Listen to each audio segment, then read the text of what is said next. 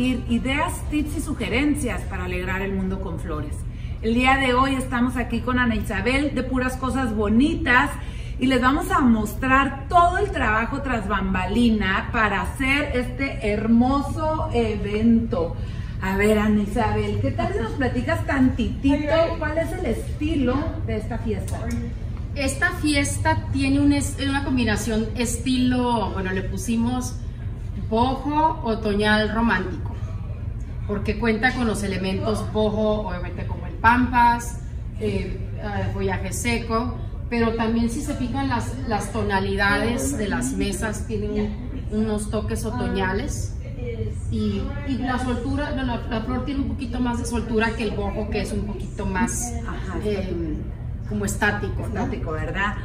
Pues estamos bien contentas porque empezamos a filmar desde que desde que llegó las flores, estuvieron hidratando, durante varios días se hicieron un día los centros de mesa de las bajos, otro día los centros de mesa altos, hubo mucha chorcha porque un gran equipo, porque se requiere un gran equipo para sacar adelante un evento como este. Entonces les vamos a guiar paso por paso todo como lo hicimos, no nada más eso les vamos a mostrar cómo termina todo esto.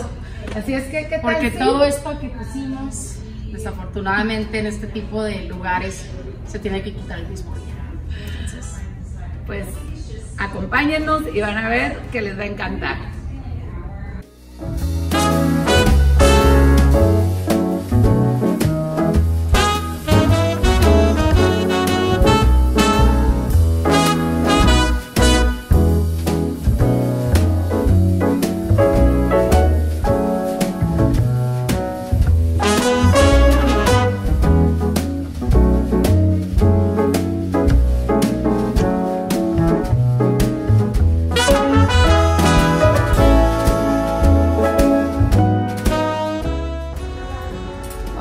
Ok, ahorita lo que estamos haciendo es preparando las bases. Les pusimos soporte con malla de gallinero y una cruz con cinta adhesiva para que con el transporte vayan seguros.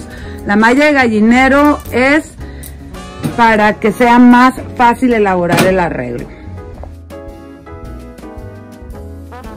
Siempre me gusta explicarles qué vamos a hacer por, por mesa para que puedan visualizar cómo se va a ver en la mesa ya puesto, ¿no? Esta mesa es de 6 pies, nuestras mesas son de 8 pies, entonces toda la mesa es nuestro espacio funcional que tenemos ahí en ya en la recepción. En esta ocasión vamos a hacer una mezcla de diferentes estilos de bases. Es un look eh, entre moderno con toques más contemporáneos. Digo, bojo, con toques contemporáneos. Por ejemplo, a ti te va a tocar hacer, vamos a hacer pares. Esta mesa se va a componer por dos bases de vidrio, que serían estas dos. A las orillas van a llevar dos bases de latón. Eso es para que visualicen cómo va a ir en su mesa, ¿no? Aquí vamos a poner unas tea lights. Y aquí, esparcidas, van a ir cuatro velas largas con sus mamparas de vidrio, que son más o menos de unas bueno, en pulgadas son unas de 14 y unas de 18. Siempre me gusta poner la más alta más al centro y la más bajita a la orilla. ¿Ok? ¿Y cómo vamos a trabajar? Para llevar un orden y que todas tengan sus bases más simétricas, a mí me gusta que cada quien escoja las bases que van a ir sobre la mesa que van a trabajar. En otras palabras, cada quien va a trabajar una mesa. En esta ocasión vamos a hacer cinco mesas con arreglos bajitos. Entonces cada quien tiene que tener dos bases de vidrio y cuatro, y cuatro bases de latón. ¿Ok? Es lo que vamos a trabajar el día de hoy. Esto es para cada quien. Estas ya están preparadas. Ya tienen el alambre, tienen el tape. Y vamos a comenzar. ¿Ok? Ya estás. Qué estrés. A ver, ¿cómo se llama tu proveedor de flores? Eh, la divina Imelda de Cali Wholesale Flowers eh, nos apoyó con todas estas preciosidades que ven el día de hoy. El tema de la boda que vamos a tener es un tema bojo otoñal, con toques contemporáneos como comenté anteriormente. Aquí hice algo que nunca había hecho anteriormente. Siempre tengo idea de las flores que quiero y le mando la lista y ella ya las coteja conmigo, pero en esta ocasión hice algo que nunca había hecho, que era pedirle que ella me escogiera las flores. Entonces estoy trabajando con, con varios elementos sorpresa. Oye, ¿y qué, qué, le mandaste? ¿Qué sucedió? ¿Tú le dijiste lo que querías? ¿Cómo estuvo esa parte? Le mandé unas fotografías de los tonos. Eh, yo sé que ahorita eh, pues son, muchas son flores de temporada, entonces no siempre hay lo que uno ve en las fotos. Pero le mandé unas 3, 4 fotos para que se inspirara. Son fotos que la novia también nos mandó a nosotras. Y, y de ahí se basó aparte va a llevar un pampas más que ya teníamos. Entonces eso me, eso me iba a complementar ella. Y pues a ver, digo, creo que, creo que escogió muy bien, me encantó. Hay flores que sí nunca he trabajado, que bueno que viniste el día de hoy. Hello me dan pánico. Pánico, son esas, nunca las he trabajado. Bueno, una vez las trabajé y no, no tuve mucho éxito, entonces hoy vamos a tener la oportunidad que nos ayudes a, a, trabajarla para aprender a, aprender a usar el Helleborn. Y, y, fuera de ahí las demás sí hemos trabajado con ellas anteriormente en alguna ocasión. Esta me encanta. Esta quinasia es algo que no mucha gente utiliza, es de aquí de California. quiero mencionar que todas estas flores están eh, bien de, de proveedores locales de California. También por eso nos gusta trabajar con, con Cali Wholesale Flowers porque nos escogen flor local y la flor, flor que está aquí cerca de, de ranchos o granjas, como le quieran llamar, que son aquí locales.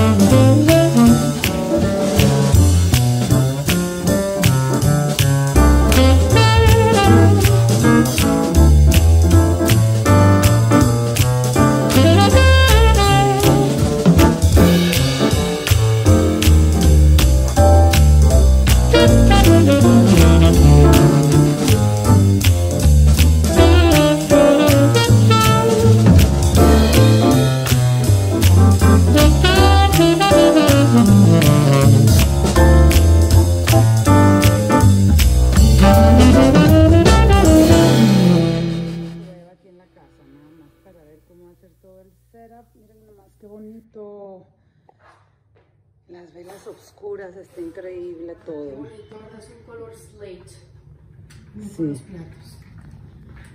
Obvio, no es aquí, esta es una casa, pero hay que hacer el setup. Hay que hacer el plan. Así van a quedar las mesas.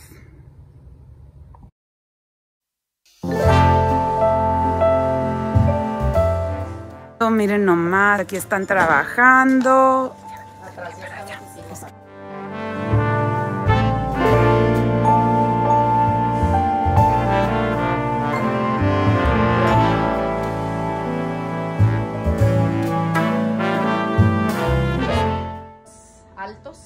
Haciendo la muestra para ahorita empezar todas juntas a hacer los demás. Y ver qué se va a necesitar para la receta. Qué es lo que va a llevar cada arreglo. Es un arreglo otoñal, tonos otoñales, pero la novia sí le quería meter efectos bojo con el pampas. Pero sí lo vamos a hacer más romántico que el bojo que normalmente todo mundo ve que es más, que, que predomina más el pampas. No, este sí va a ser nomás un toque de pampas.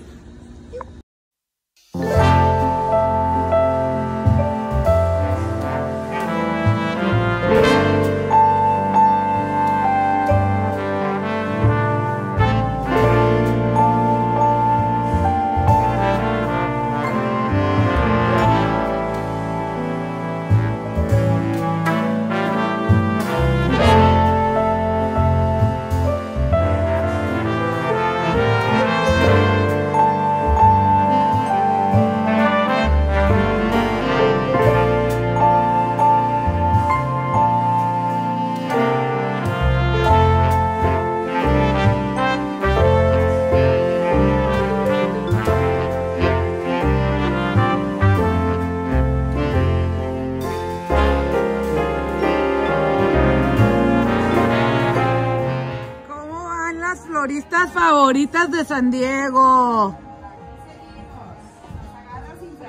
¡Wow! ¡Qué padrísimo!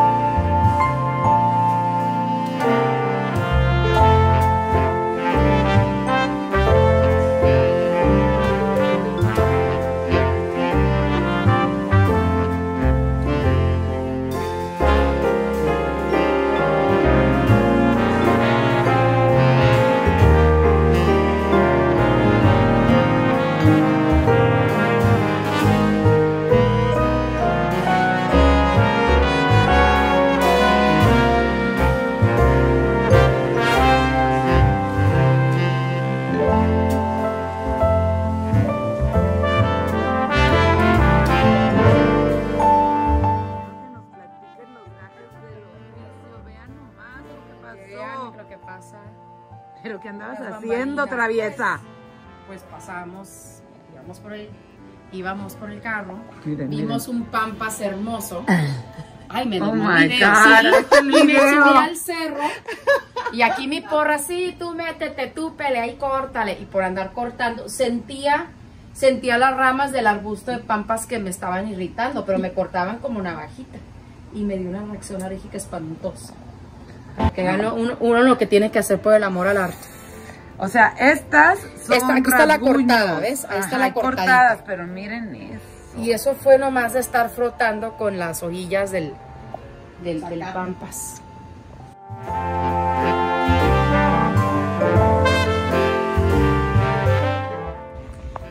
Muy bien, venimos llegando, aquí tenemos la cajuela donde se va a cargar todo, miren, en cajas, en cajas bien acomodados, son los arreglos pequeños, si es que no hay que estresarnos. Miren, aquí están, ya todos los arreglos están así, así los van a transportar, nada se maltrata, todo está bien acomodado. Manos a la obra, es el día del setup. Tengo unas cajas que tengo que meter de copa Miren, esta es la van donde ya vienen vajillas, tapetes, manteles, accesorios. Aquí se van a subir los arreglos altos y muchas de las demás cositas. Y bueno, miren, ya aquí ya está listo. ¡Ay, mira, tiene la charola! Ah, pero miren, esto se transporta así, pero aquí están las charolas de Seminolets, ya saben, fabulosas, lo máximo. No sé qué vamos a subir ahí, pero ahorita vamos a ver.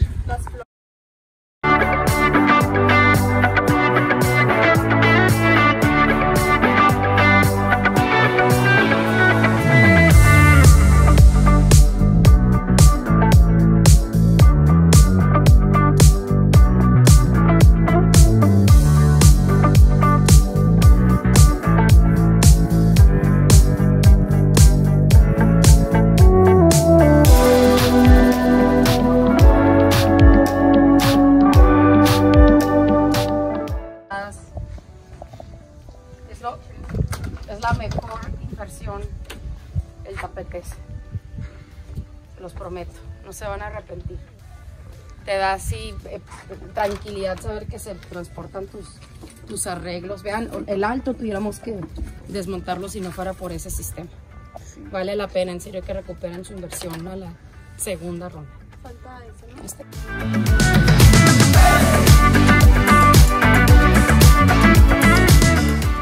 Miren qué hermoso lugar vamos a decorar, aunque es con todo el follaje. Pues más bien vamos a complementar con flores. Está hermoso. Aquí están organizando el acomodo de las mesas porque, pues miren, unas mesas ya están acomodadas y otras se tienen que mover porque después de la ceremonia se mueven esas paredes con plantas divinas que vimos, eh, se mueven hacia las paredes y ya todo el salón es nada más para la fiesta.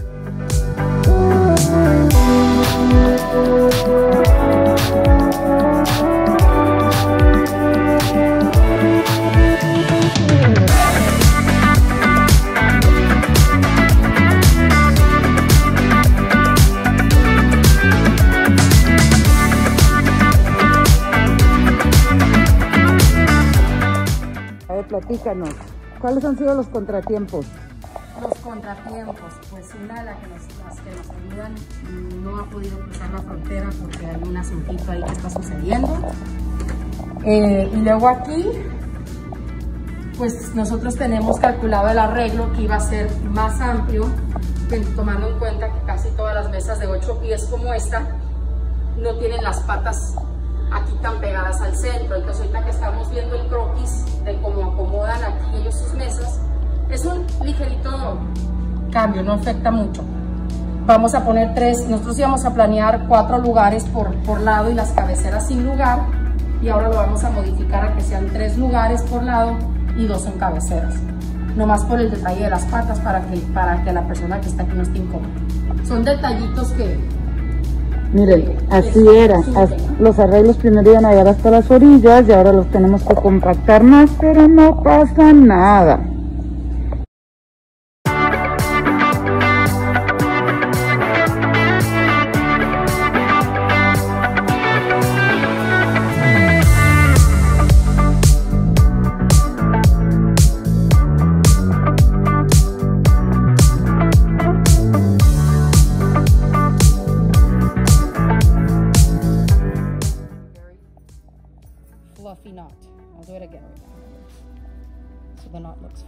Okay. Let's do this. I'll do it with you on the yellow one. Okay, so you grab the napkin, but this one's are gauzy. Uh-huh. No, most of the times we do, like we fold them and stuff, but not this one. So you just see the middle like this. Yeah. And then like I bend it on the middle so I know the knot is there. And then gently pull. Not fluffy enough? Yeah.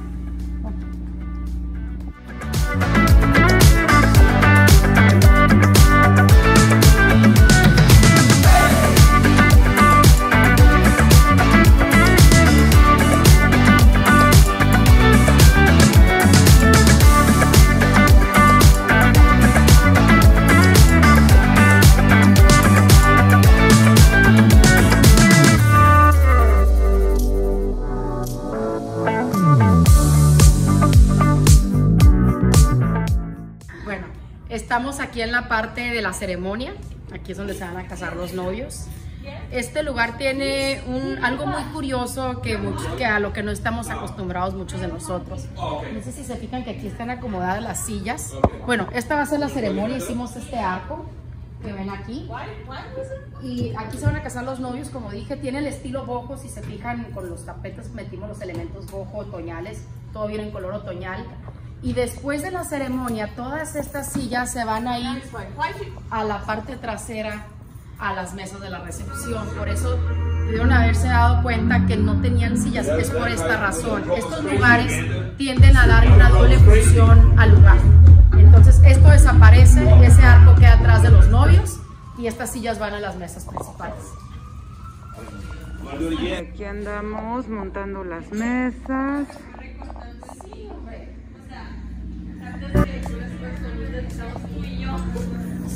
Miren, esta mesa ya está lista. Servilleta, cubiertos, las velas azules increíbles que le hacen nacha a la vajilla. Todo, todo está súper hermoso.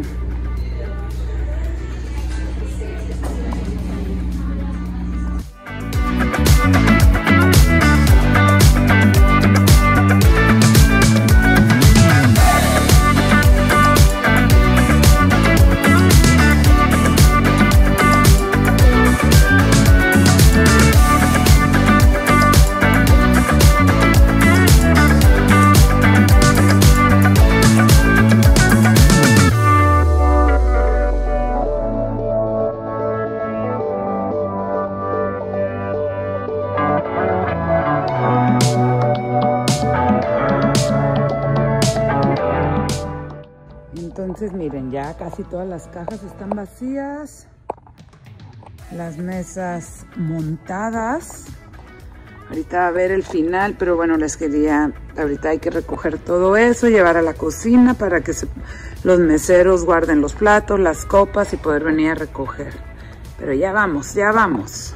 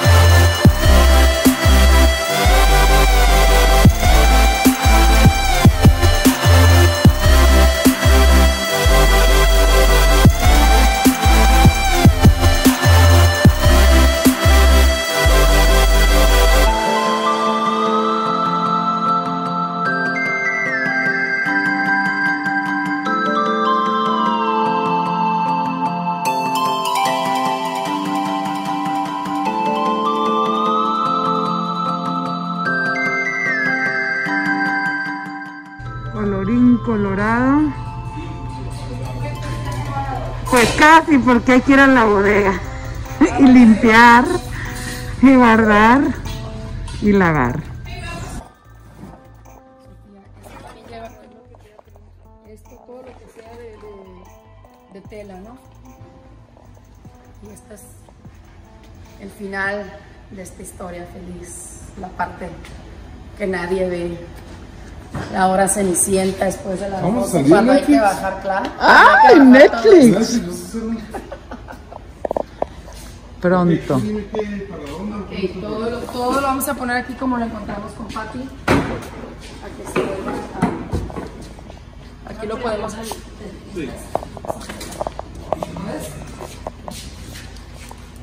¿Y estas demás qué onda?